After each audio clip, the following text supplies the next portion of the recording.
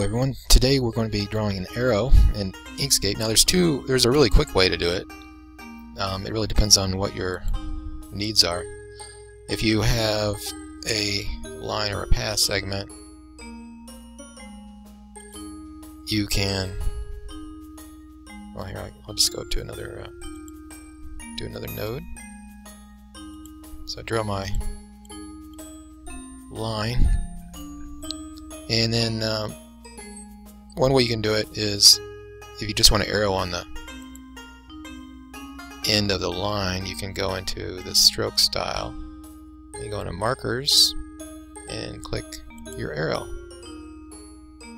Now, it doesn't give you a lot of ability to manipulate the arrow. They do have some other styles, not a lot. Let's see get that one.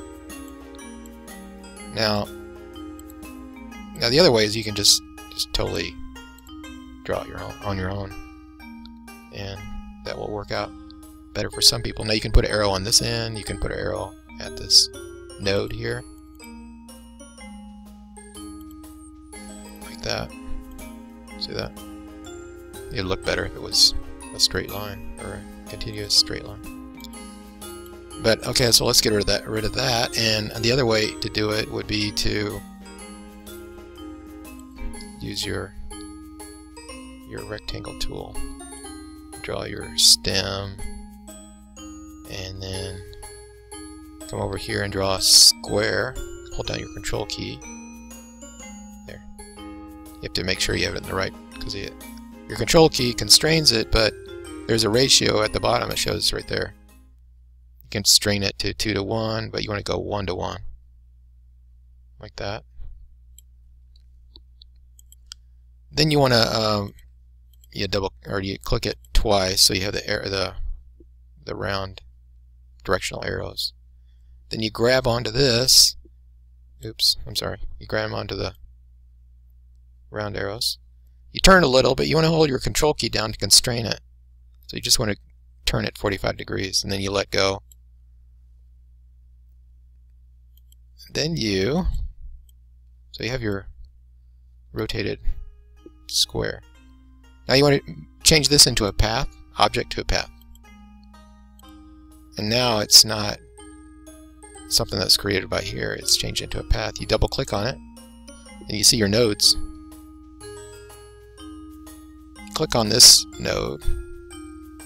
There. I guess it's click. Hit your control key down and then hit delete. And then you can move this over. You can select both of these. Now I'm not sure if I like that. Actually, you can hold your shift key. You can change the proportion proportions of this.